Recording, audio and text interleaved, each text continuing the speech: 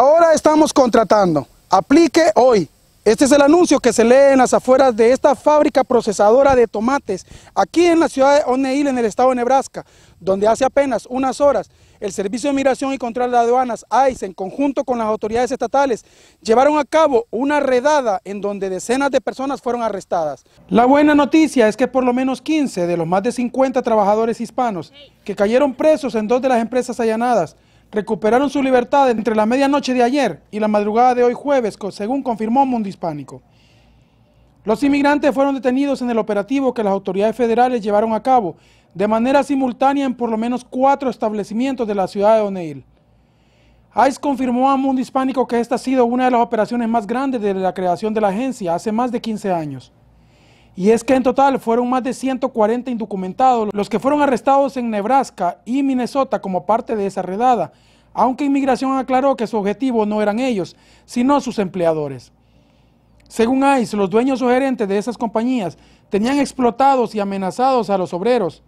Los intimidaban para que no denunciaran los malos tratos verbales ni abusos físicos que sufrían, asegura la agencia. ICE alega que se vio la necesidad de enviar a centenares de sus agentes para garantizar el éxito de la operación, los cuales llegaron desde tempranas horas y rodearon los edificios.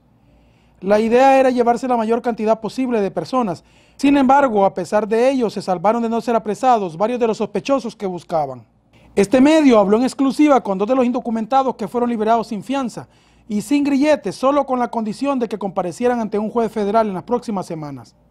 La pareja mexicana declaró que el tener hijos nacidos aquí y el no haber cometido ninguna clase de delitos en el país fue lo que consideraron las autoridades para concederle la libertad. ¿Qué fue lo que pasó? Nárrame un poquito de eso. Sí, pues todo ocurrió normal. Eh, estábamos todos trabajando y pues ahora sí los oficiales entraron. Eh, se piensa uno otras cosas de, de, los agentes, ¿verdad? Como pasa que han golpeado a la gente y eso, no.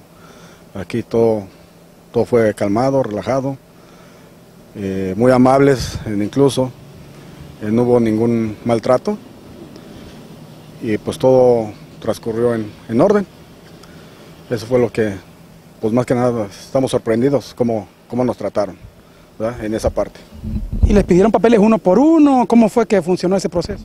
Sí, nos juntaron a todos en, en una área y ahí estuvieron llevando a una o dos personas a otra oficina y ahí nos estuvieron preguntando cuál era nuestro estatus legal aquí.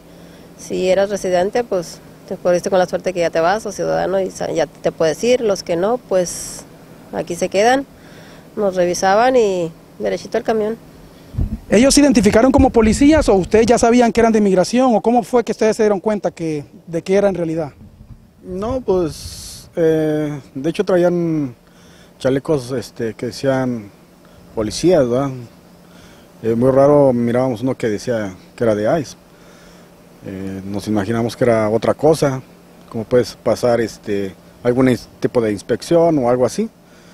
Pero pues ya en la realidad fue cuando nos juntaron a todos y eh, nos dijeron de lo que se trataba.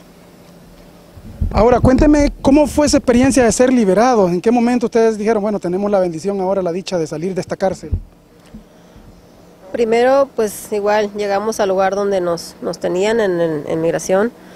Eh, nos estuvieron esperando bastante porque éramos muchos. tardaban dos, tres horas con cada persona procesando, eh, investigando, interrogando. Eh, pero ya cuando pasabas, a la mayoría creo de inmediato nos decían te quedas, te vas, te checaban huellas, si no tenías algún más récord o algo, este, pues te ponían unas pulseritas de colores y ahí te identificaban con eso, ¿no?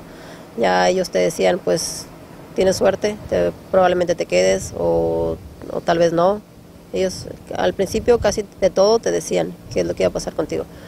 Ya después en el transcurso de la entrevista, pues ya, ya estabas prácticamente tranquilo porque ya sabías que te ibas a quedar creo que no somos malas personas, eh, la, mayor de, la mayoría de gente que trabaja aquí, todos venimos creo que por un futuro, eh, todos tenemos familia aquí, hijos, esposa, y pues más que nada eso, ¿verdad? No, y pues por otro lado, pues el temor de entrar al país de uno, eh, mucha violencia, este, secuestros y pues está uno atemorizado.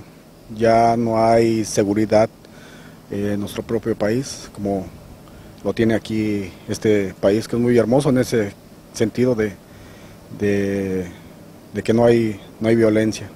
Por último, ¿no les pusieron fianza, no les pusieron grillete, así lo dejaron salir así por así? Así es, eh, corrimos con la suerte de que no, no tuvimos que pagar fianza, nos dejaron salir, nos dieron una fecha para corte, tenemos que pelear por nuestro caso para poder quedarnos aquí. Este, a otras personas no corrieron con la misma suerte, otras me imagino que ya están camino a casa, otras sí les pusieron fianza y se quedaron también esperando para pagar. Y pues repito, nos tocó la suerte de que, de que no, no nos pidieron fianza y, y estamos aquí afuera, gracias a Dios. Y esta es otra de las compañías que fueron allanadas por los agentes federales en esta mega redada. De aquí se llevaron a por lo menos una docena de personas, dos de ellos administradores del negocio, la mayoría eran trabajadores indocumentados.